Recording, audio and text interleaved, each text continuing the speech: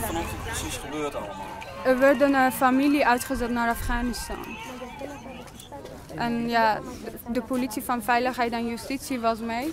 En daarna, uh, ze hadden, alle die bewoners van het AZC wouden gewoon die uitzetting, uh, zeg maar, uh, tegenhouden, maar het lukte niet. En toen is de, politie van Veiligheid en Justitie hebben de politie van Burgum gebeld en toen die zijn er ook bij gekomen. Maar hun gedrag was echt niet netjes, want die, wou, die gingen alle mensen geslagen en mijn vader werd ook door hun geslagen. Want die wouden gewoon voorkomen dat die familie teruggestuurd wordt, want is onveilig. Iedereen weet het. Het is niet alleen maar Taliban daar, maar ook die ISIS zijn er daar gekomen. Waarom moeten ze teruggestuurd als het daar onveilig is?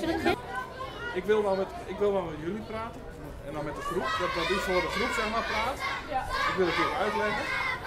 Uh, dus ja, mij betreft komt er even mee naar binnen en gaan we even met u praten. Wilt u nog iemand meenemen? Dat wij twee nog ja, Maar ze willen dat u met hun allemaal praat. Nou, dat ga ik niet doen, want ik denk dat u het heel goed kunt uitleggen. Ik spreek uw taal ook niet zo goed. Um, ik kan het heel goed, uh, uh, dat, dat gewoon even met, dat ik even uw verhaal nog een keer aanhoor en dat ik het even uitleg. Ik weet niet wat, waarom jullie gaan ons, uh, ons sturen naar, terug naar Afghanistan.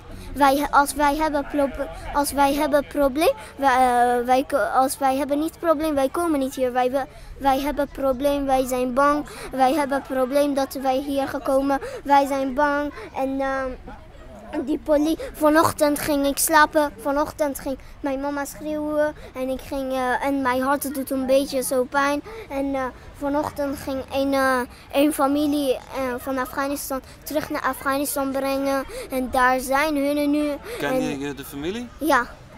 En was je vanochtend ook bang? Ja.